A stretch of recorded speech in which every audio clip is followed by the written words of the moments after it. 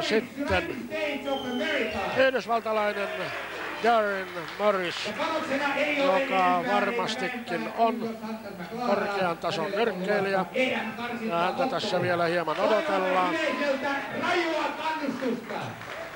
Minkä verran sä suunnittelit etukäteen taktiikkaa nyt näissä pidemmissä otteluissa? No siinä on lähettävä sillä että alusta vetää tuommoista vähän matalaa profiilia, ottaa tarkasti ja paikan tullen rokottaa heti täysillä. Ja, mutta kumminkin, että loppukohden on tarkoitus niin kiristää sitten. Riippuu siitä, miten paukkuja riittää. No paljonko ne paukut tässä merkitsee, olet sinä olet enemmän tuollaisten voimalyöntien kuin pelkän pistenyrkkeilyn kannalla? No en mä kyllä piste, pistevoittoa lähde hakemaankaan. Että mä pyrin nukuttaa kaverin mahdollisimman nopeasti.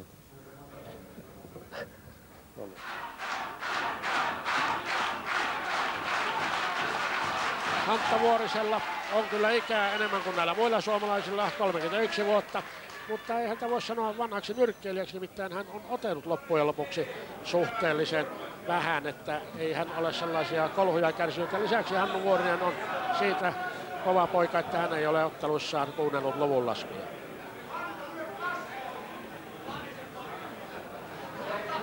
Darin Morris on ainakin Osku Kanervan kertoman mukaan tuollainen taitonyrkkeilijä. Vuorinen taas perustaa työskentelynsä voimaiskuihin ja hänellä sitä voimaa on jopa siihen saakka, että vastustajista on kolme, neljä luopunut ottelusta ennen täyttä aikaa. Ja sitten on yksi pistevoitto ja ratkaisematon ja näin lähdetään.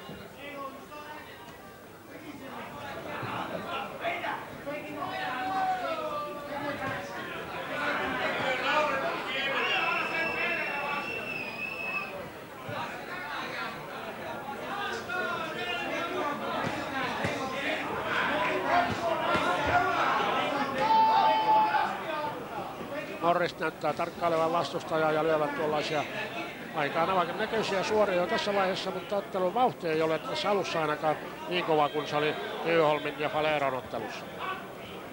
Mutta vielä enemmän siinä tarkkailee Vuorinen, joka ilmeisesti odottaa sopivaa tilaisuutta lyödä kunnon täräyksen. Vuorisellahan on hieman huolia käsivammasta. Hänellä on ollut siitä ongelmia, mutta ilman leikkausta ainakin on toistaiseksi selvitty. Ja kädethän ovat sentään nyrkkeilijälle sellaiset työkalut, että niissä ei sovi olla vammoja.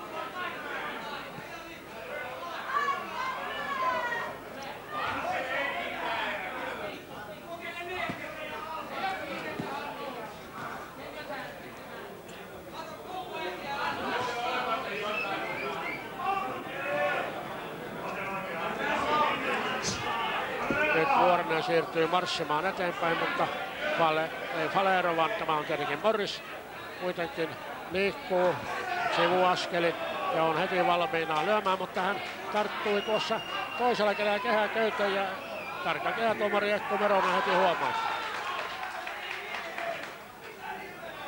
Köysistä hän ei saa pitää kiinni eikä niistä saa ottaa myöskään vauhtia. Muutenhan saattaisi tulla esiin sellaisia kuin joskus pilapiirroksissa sattuu noita tapahtumia, että ottelija ottaa vauhtia ja lentää kuin katapultti sieltä kohti vastustajaa.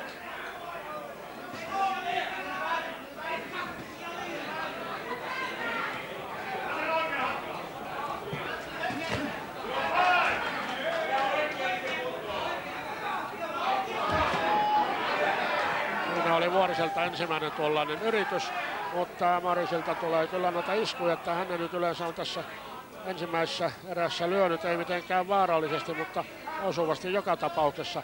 Ammattinyrkkeilyssä nyt kun tämä ensimmäinen erä alkaa loppua, myöskin säännöt ovat poikkeavat amatöörinyrkkeilystä siinä, että vartalon painolla lyödyt iskut ovat tuomarien pöytäkirjoissa arvokkaampia kuin tuollaiset sotaisut. Amatööreillähän nyt arvostetaan, arvostellaan nykyään osumiksi kevyemmät lyönnit.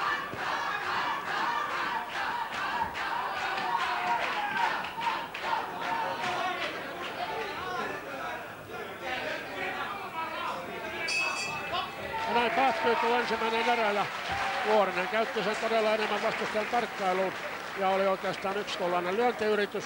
Jos nyt pisteitä lasketaan, niin kyllähän niitä Morrisille siinä tuli, mutta se nyt ei kuitenkaan vielä tässä vaiheessa merkitse ihmeitä, koska Hantta ei nyt ollut millään tavalla vaikeuksissa, eivätkä todellakaan tuon Morrisin lyönnit olleet erikoisen purevan näköisiä, mutta niitä tuli aika usein.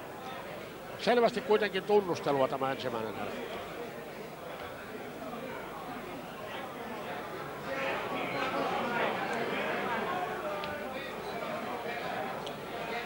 Tästä vielä hidastuksena noita lyöntejä. Morris osui siinä vuorista vartaloon ja avaa vasemmallaan vastustajan suojausta ja on siellä valmiina sitten täräyttämään oikeallaan. Ja Hantalla on todellakin suojaus korkealla. Hän varoo leukaansa. Vaikka se kestääkin, niin nyrkkeilyssä ei kuitenkaan koskaan tiedä kuinka paljon. Ja nyt lähdettiin toiseen erään. Ottelussa Hannu Vuorinen, Darren Morris. Avustaja siellä Vuorisen kulmassa hieman viivitteli ja kehätuomari ei antanut ottelun alkaa ennen kuin kehä oli puhdas. Näin hän kuuluukin tehdä.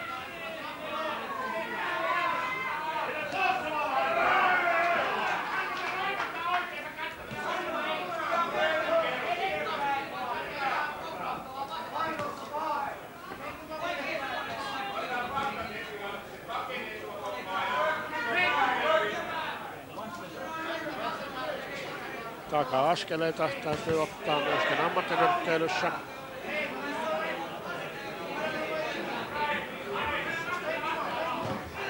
Nyt meni Vuoriselta kovaa vasen ja tumma poika siinä vähän säpsähti, mutta odotti vähän tuollaisen Muhammad Alin tyyliin suojuksensa tuonne alas, eikä hän ollut siinä oikein millään säkkään. Hän luottaa nähtävästi nopeutensa ja luottaa myöskin iskukestävyytensä.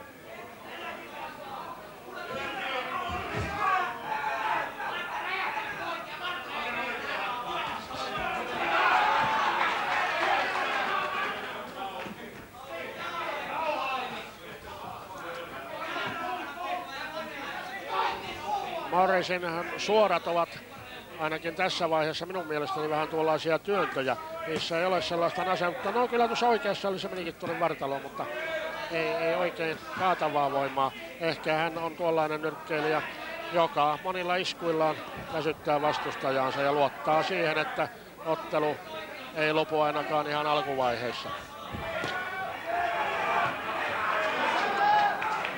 Mutta Vuorisen lyönneissä, vaikka tämä tuleekin harvakseen, niissä on hieman toisenlainen teho.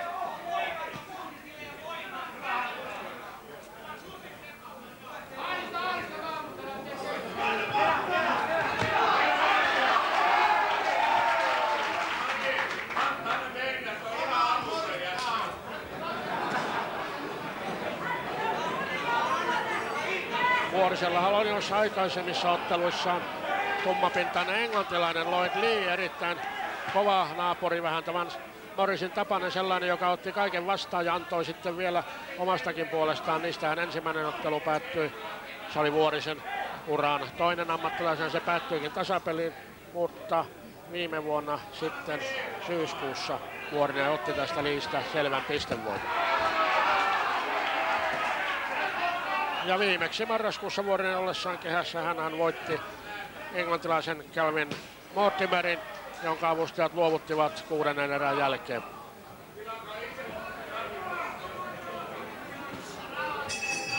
Ja näin päättyy toinen erä, joka sujui aika paljon samalla tavalla kuin ensimmäinenkin, mutta Vuorinen sai tässä kyllä enemmän otetta vastustajasta.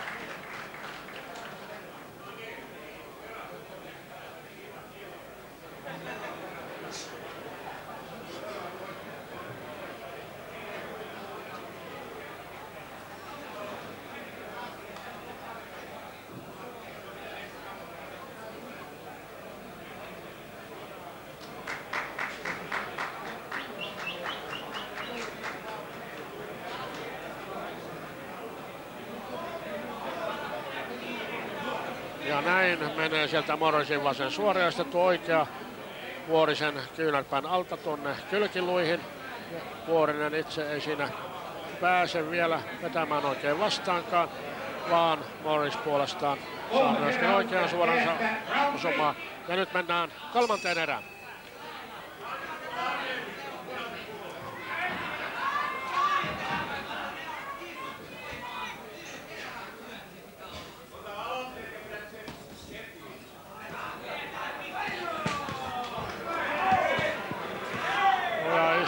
Morrisilta oikea, mutta se meni oikeastaan vähän tuonne kielletyn rajoillekin, vaikka ei Ekko Meronen siitä kuitenkaan poikaa huomauttanut varoittamisesta puhumattakaan. Mutta nyt tuli kova vasen ja Morris meinaa tässä ottelussa kolmannessa erässä nyt ottaa yliotetta selvemmin. Iskuihin tuli myöskin ainakin tänne katsomoon näyttävästi hieman lisää tehoa. Toivotaan, että sitä löytyy myöskin Vuoriselta. Ottelun ratkaisu kyllä on aivan näissä suomalaisen luissa iskuissa.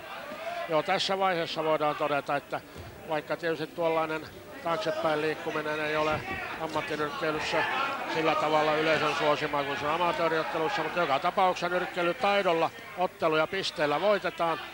Että tämä nyt näyttää vähän sellaiselta tässä kolmannessa erässä, että Morris on taidoltaan vallan mainio nyrkkeilijä.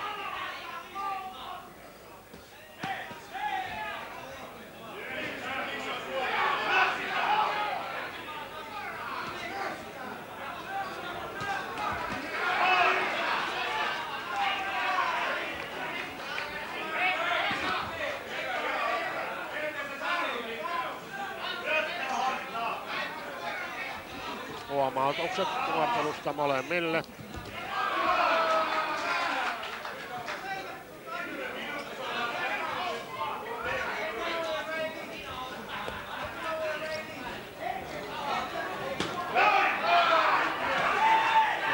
Vuoriselta hyvä oikea, mutta se meni tuonne vastustajan käsivarsiin. Kyllähän sellainenkin tietysti vähän vie puhtia pois, mutta joka tapauksessa se oli sillä tavalla vaaraton.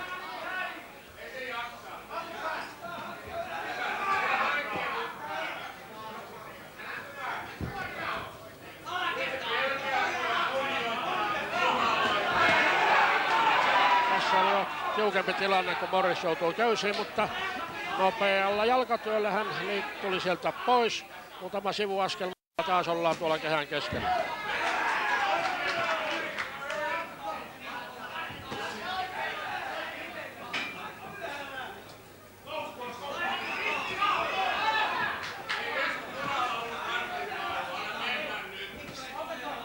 Yleisökin elää innokkaasti mukana täällä ballroomissa. Kyllähän tässä todellakin on ollut ensimmäinen ottelu oli varsin hyvä ja tämä toinen vielä jännittävämpi ja nyt päättyi kolmas erä.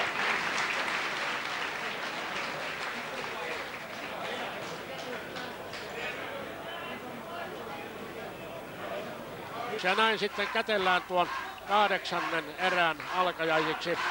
Näin aina kuuluu tapoihin, että kun ottelu alkaa, lyödään kättä on ainakin noin kuvannollisesti ja sitten kun alkaa viimeinen erä myöskin silloin. Yleisön rytmikkäät taputukset täällä kannustavat vuorista. Ja yritystä Antalta ei varmasti puutu, sitä ei tarvitse epäillä.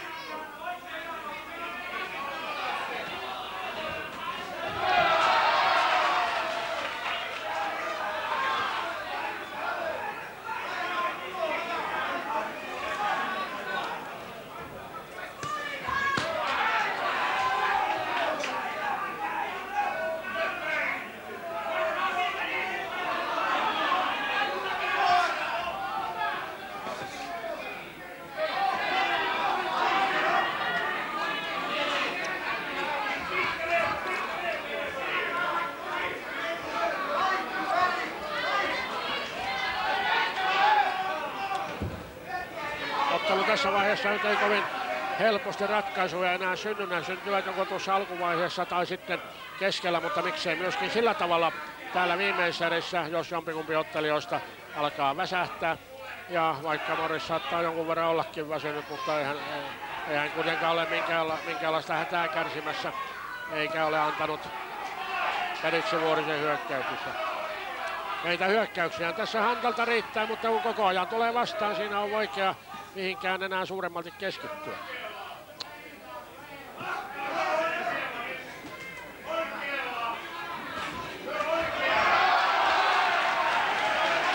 Hieman siinä Morris horjahti, mutta kyllä se yleisön puolella taisi olla enemmän toiveajattelua. Nimittäin ei kumma poika ollut mitenkään tuossa lattia menossa, meni vähän vähän tasapaino pois. Mutta sitten oli jo vaikeampi tilanne tässä Keisin ojatessa. Ja sieltä tuli Morriskin pois ja hänkin tietysti tietää ja ajattelee, että kunhan tässä nyt ollaan vaikka sitomalla, kuten nytkin mennään tämä viimeinen erä, niin voiton mahdollisuudet ovat olemassa.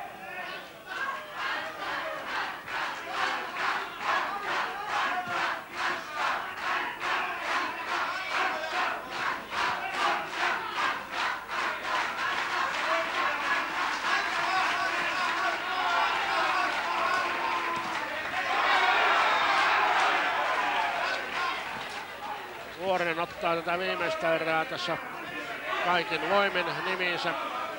Sitten ratkaisevaa merkitystä tässä vaiheessa. Se on tuomarien asia.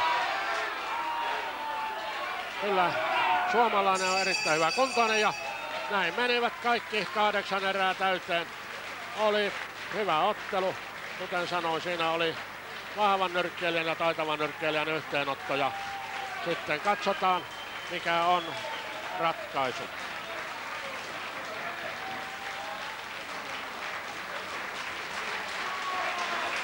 Norris on saanut pistevoiton haja äänin 2-1 tuomiolla. Se on aivan täysin ymmärrettävä ratkaisu. Tasapeli tässä olisi tietysti ollut mahdollinen, mutta nyt meni näin huonolle. Ei Hannu Vuorinen hävinnyt. Kyllähän parhaansa yritti.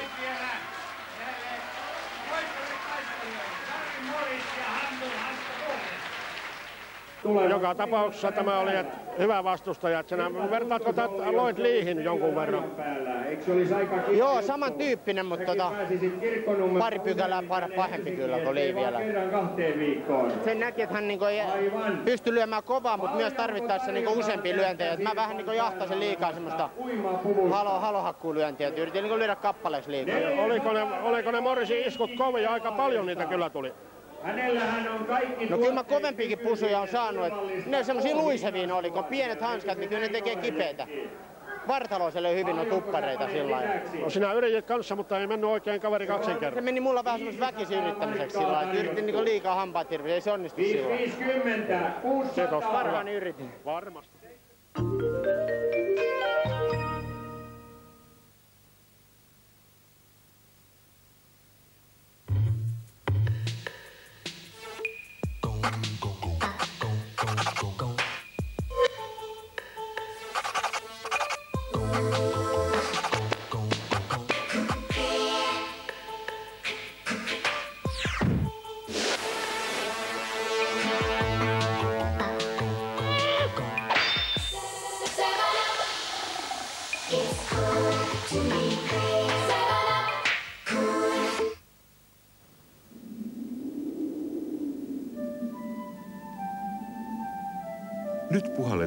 Yhdessä tuulta purjeisiin. Vammaisen ihmisen elämässä on monia meille tuntemattomia karikoita, mutta oikea tieto ja oikeat apuvälineet auttavat luovimaan niiden ohi. Invalidiliitto toimii omalta osaltaan vammaisten luotsina järjestämällä muun muassa kuntoutusta ja sopeutumisvalmennusta sekä rakennuttamalla palvelutaloja. Kevään tuulta purjeisiin keräys tukee tätä tärkeää työtä. Tule sinäkin mukaan.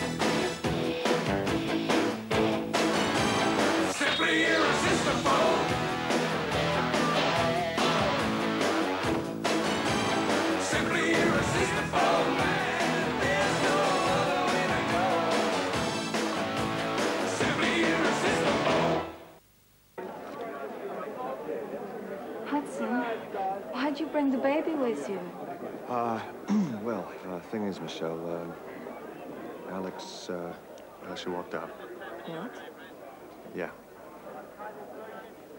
Oh. Don't tell me it's impossible. Nothing is impossible. I'm not shouting. Repeat it. Repeat what? The tax liability or the corporate structure?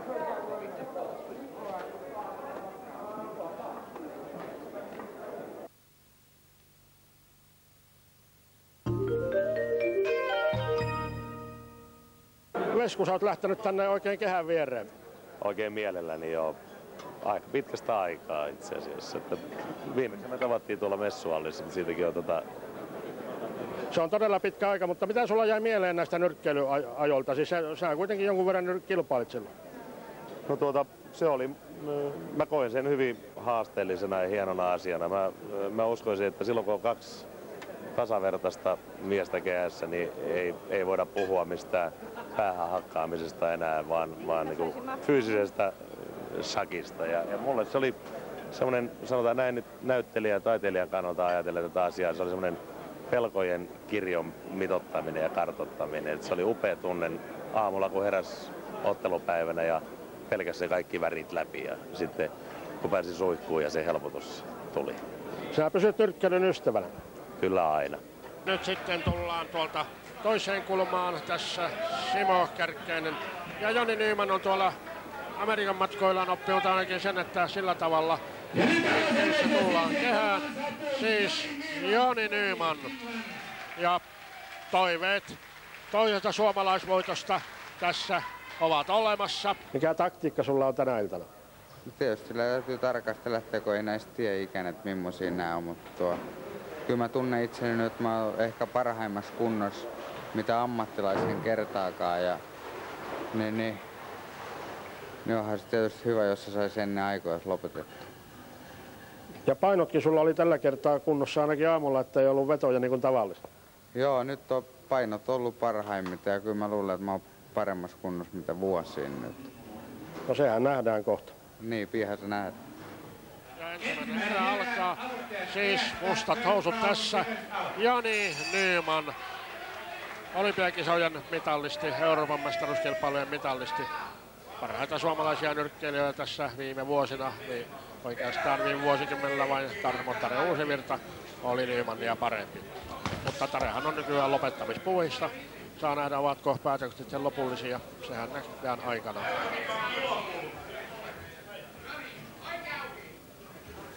Nyman on vasenkätinen ja tuollainen vasenkätinen. Sieltä tuli, Torres ei ollut kyllä todellakaan mikään kuka tahansa poika, vaan tempasi todellakin vasemmalla Nymanin tuossa kanveesille. Näemme tuo isku vielä varmasti tässä vähän myöhemmässä vaiheessa hidastuksena. Ja Ekku Meronen laski kahdeksaan. Mutta Nymanilla on viime aikoina tuo isukestävyys tahtonut vähän rapistua. Ja se on nyrkkeilijälle paha juttu. Toivotaan kuitenkin, että tuo oli vaan tuollainen tilapäinen väläys. Ilmeisesti se oli tuo Torresin oikea, joka tuossa odottelee, joka siinä lopulta sattui. Yllättävä alku, siellä tuli vasen perää. Ja todella nasevasti lyövä. Nuori mies on tullut Puerto Ricosta tänne. Ei hän ole tullut hakemaan mitään pelkkiä palkkiorahoja. Hän on tullut voittamaan ottelunsa siinä, kun Joni Nymanin, Nymankin, jolle tietenkin voitto tässä ottelussa merkitsisi näin tällä hetkellä sanottuna melkeinpä kaikkea huralla. Eikä se nyt ole liikaa sanottu, mutta kuitenkin ei tässä tappiolla todellakaan varaa, mikäli Nyman aikoo muualle kuin esiottelijaksi.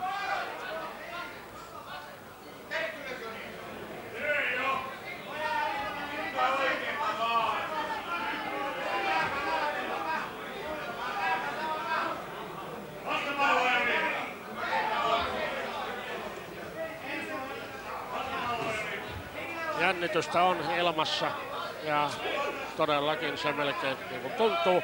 Monet toivovat tietenkin vielä, että Joni tuosta itsensä selvittää. Eikä hänellä nyt tällä hetkellä mitään erikoisempaa hätää tunnu olevankaan. Jonihan on ehdottomasti, hän on taitava nyrkkeilijä, että siitä ei ole suinkaan puutetta tuosta taitopuolesta, mutta kuinka on sitten tuo iskujen kestävyys. Ja silloin kun Jani taas saa vastustajansa vaikeaan tilanteeseen, hänessä on kyllä miestä ratkaisujaksi. Se on nähty hänen aikaisemmissakin otteluissa.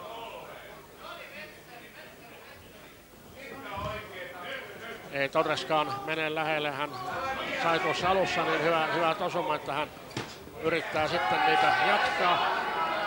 Hän se vasta tuollainen varsinainen tyrmä ja näyttääkin olevan. Sehän ei kuitenkaan tarkoita sitä, että hän kestäisi kaikki iskut. Monta kertaa mies saattaa lyödä kovaa, mutta ei kestä itse. Mutta tuo ensimmäinen erä meni kaikista huolimatta Toresille, koska silloin jos muuten on tasasta lattia, lyönti merkitsee jo ammattinyrkkeilyssä tuollaista parin pisteen eroa. Häviö David Torres, 24-vuotias, kuusi voittoa ja kolme tappiota.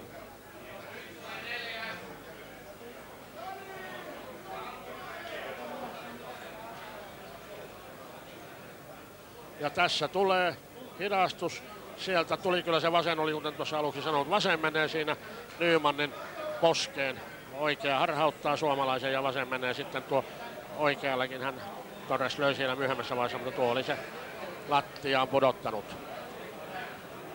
Ja se oli muuten näiden kilpailujen ensimmäinen lattiaan lyönti, maahanlyönti, että ei tämä, nämä otteluparit ovat olleet niin tasaväkisiä, että vaikka tuo ensimmäinen ottelu päättyykin teknisen tyrmäyksen, niin siinähän ei kehätuomari tarvinnut numeroita laskea. Tässä vasta nyt kokeiltiin, kun toinen erä alkaa Ekko Merosen laskua kymmeneen, mutta sinnehän ei tarvinnut laskea kahdeksan, hän kuitenkin laski.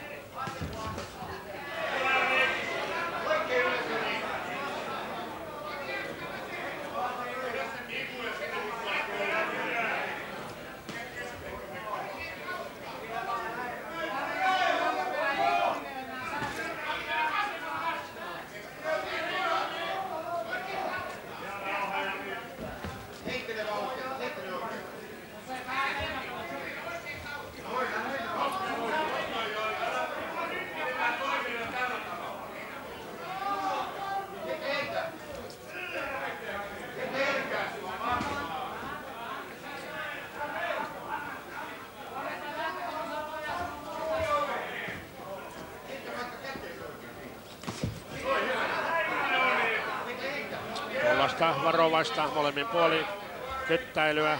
Nyman hakee siinä aukkoa vasemmalleen. Menee oikea edellä. Ja Torres siinä pikkuisen totuttelee tuon vastutaan tyyli. Ensimmäinen yllätys kuitenkin häneltä sujui aivan mukavasti omasta mielestään.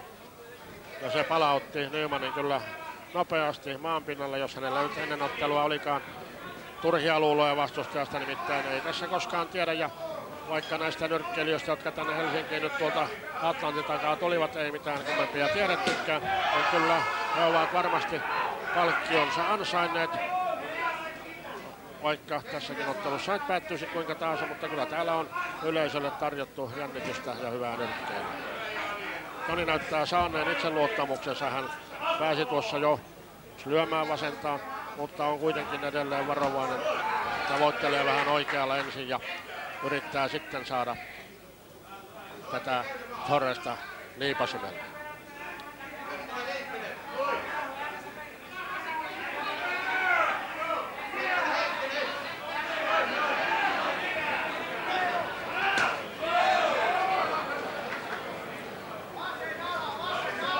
Sinänsä Torres on varsin yksipuolinen nyrkkeilijä, nimittäin hänellä kovin laaja tuo iskuvarasto näytä olevan, mutta hän keskittyykin valla, vallan tuollaisiin koviin osumiin.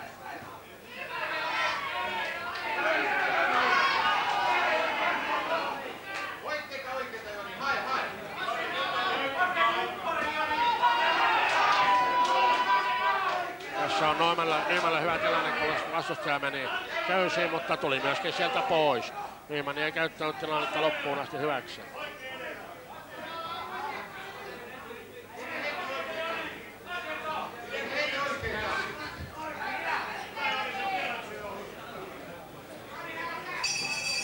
Näin päättyy toinen erä ilman ratkaisua, mutta se oli tasainen kylläkin tapahtumiltaan.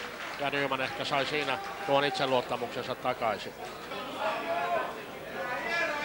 Kuudes erä avustajat round six.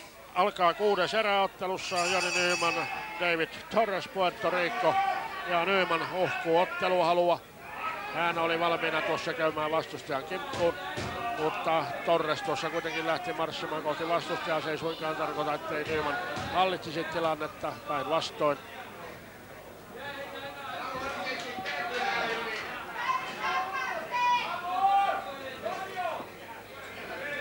Hän hallitsee sitä noin muuten, mutta hän häneltä odottaisi tuossa hieman enemmän aktiivisuutta.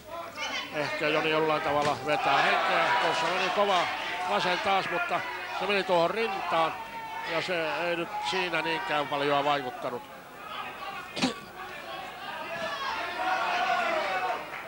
Torresin oikea suurin piirtein samanlainen.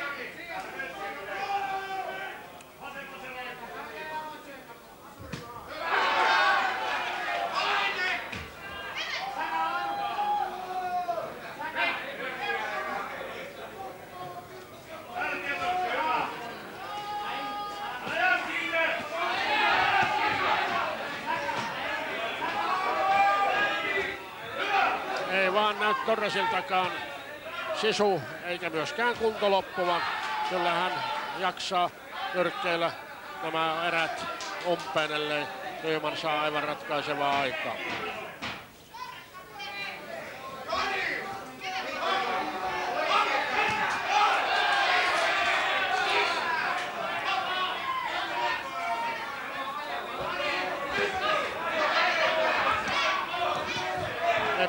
Epätarkkuutta vaan on Puerto Ricon miehellä.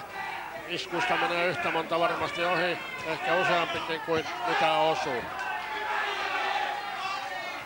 Joni on nyt tarkkana, on, sanon oli, mutta meni vasen ohi hänelläkin.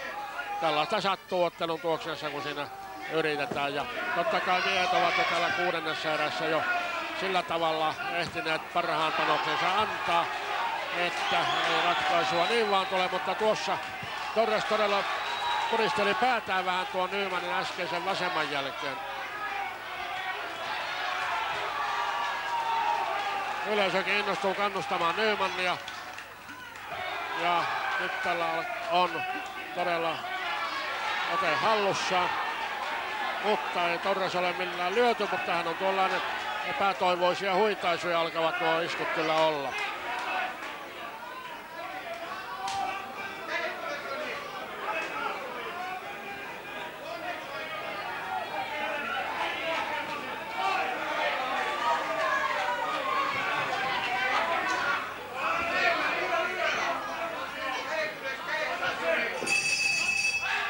No niin, siinä meni kuudes erä ja kaksi vielä jäljellä. Nyman voitti tämän erän ja johtaa mielestäni ottelua.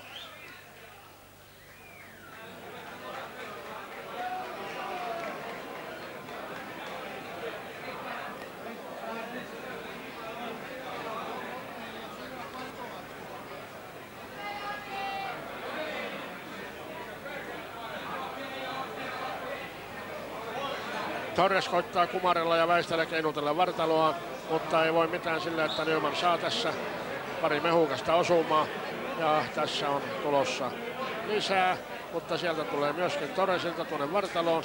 Tuo oikea oli kyllä kova, mutta se suhahti niin kuin ohi ja Nyman siinä joutui sitomaan, eikä tullut sen valmiimpaa. Seitsemäs erä avustajat keästä round seven. Seitsemäs ja toiseksi viimeinen erä.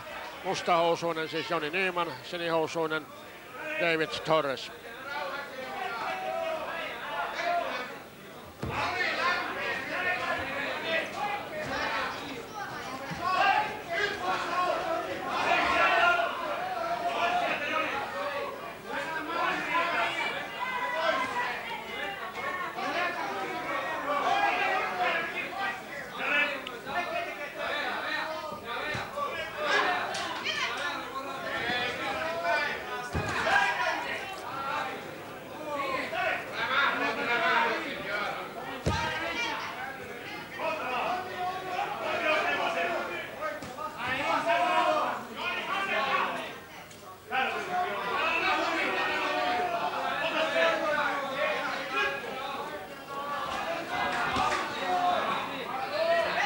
Kyllä Nymanin kunto on ainakin seitsemänteen erään saakka riittänyt. En väitä, että hän olisi terävimmillään, mutta kyllä hänellä tuo taistelutahtonsa on jäljelle. Ja Joni Nymanhan on juuri sellainen nyrkkeilijä, että hän kasvaa tehtävänsä mukaan. Hän esimerkiksi Soulin olympiakisoissakin oli aivan lähellä mitalleja. Hävisi vasta Yhdysvaltain Goldille. Ja hän on monta kertaa aikaisemminkin tehnyt sen, että hän on pystynyt nousemaan tappioasemasta. Ja se on taisteleva nyrkkeilijän merkki ja toivon todellinen tunnusmerkki, että sitä puolta Jonilla on, että jos häneltä jotain puuttuu, niin ei kuitenkaan sitä.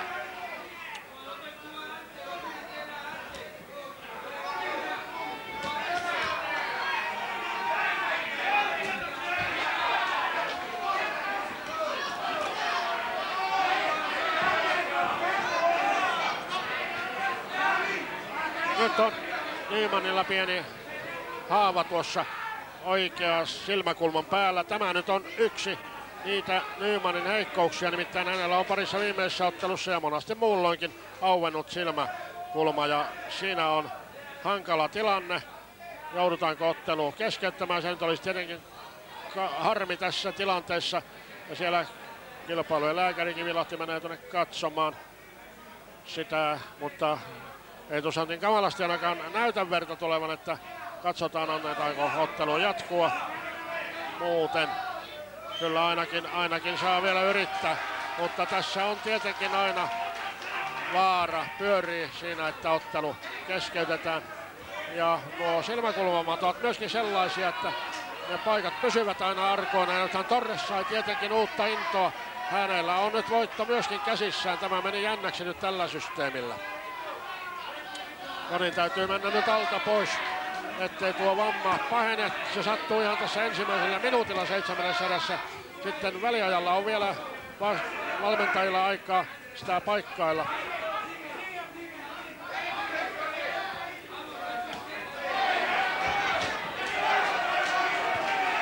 Nythän Torres tulee todellakin yrittämään ja totta kai hän yrittää hän ei ole tullut tänne todellakaan häviämään yhtä vähän kuin nämä muutkaan vielä. Hän on tullut voittamaan ja yrittää parhaansa ja totta kai vastustajan vamma tuossa on sellainen, että siinä täytyy käyttää tilannetta hyväksi. Ehkä ei ole aina tunnu ehkä niin urheilijamaiseltakaan, mutta tässä on kysymys sen verran suurista panoksista. Ja nyt päättyy tuo seitsemäs erä, yksi on vielä jäljellä. todellakin Nymanille on niitä silmäkulmavammoja sattunut. Niin sattui viimeisessä ottelussa, sattui myöskin edellisessä. Kyllä ne vievät aikansa ennen kuin ne paranevat ja kulma on sitten aina arka aukeamaan uudestaan. Ja vaikka tässä nyt ei aivan yhtä kevyesti keskeytä ottelua kuin amatöörikilpailuissa, niin kyllä lääkärillä on oma velvollisuutensa. Hän tietysti katsoo, että kuinka paha vamma on.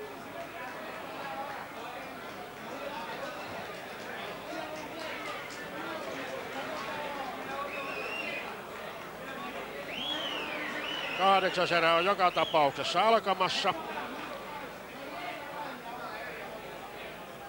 Vuotinen tuossa on meneillään kehässä ja ainakin kahdeksas erä vielä alkaa.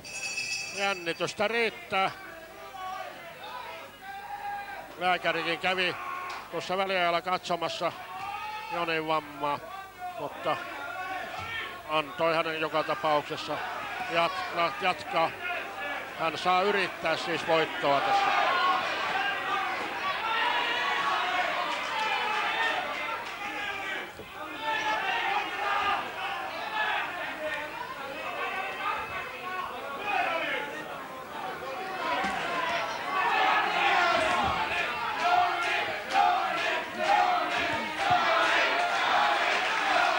Yleisö tietysti yllyttää Jonia oikein tahdikkaasti ja kyllähän Joni tekee parhaansa.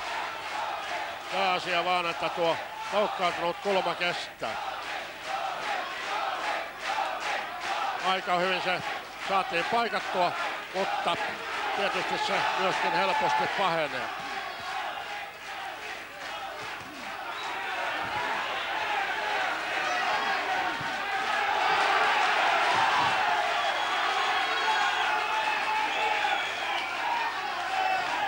Minuutti on mennyt tuota viimeistä erää.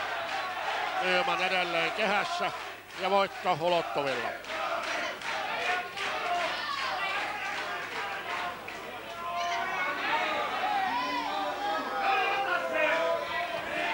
Ekko Meronen tuntee nämä nyrkkeilyasiat. Hän tietää, mistä tässä on kyse.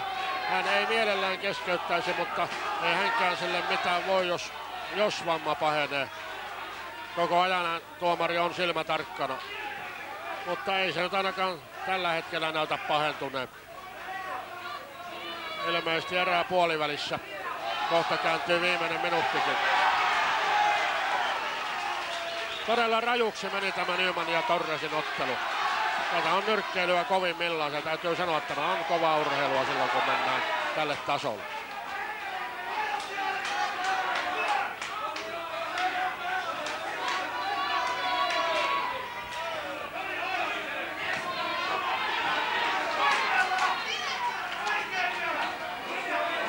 Viimeinen minuutti alkaa ja sitomistilanne. Kyllä tämä näyttää siltä, että Nyman tuo loppuun saakka saa tämän ottelun menemään.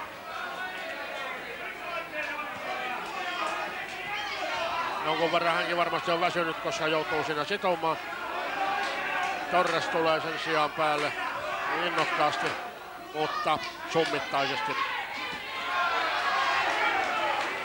Siinä oli jo Torresin oikea, vähän heitti Nymanen takaisin, mutta ei Nyman mitenkään tasapaino siinä hieman horjahti. Ja näin päättyy. Hyvä, jännittävä, todella raju ottelu.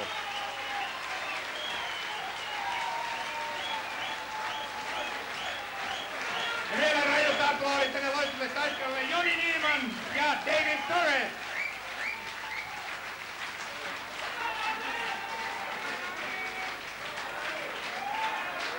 Arvoisa yleisö, Jäljellä on vielä ottelu voittajan julistaminen kaikilla tuomariäänillä. 3-0 on Nyman voittanut tämän ottelun. Se on hänen kuudes voittonsa seitsemässä ottelussa ja erittäin sisukas ja hyvä suoritus. Olemme nähneet varsin hyvät nyrkkeilykilpailut. Täällä on ollut nyrkkeilytaitoa, täällä on ollut jännitystä, täällä oli jopa dramatiikkaa. Ja tällä yleisöllä on varmasti ollut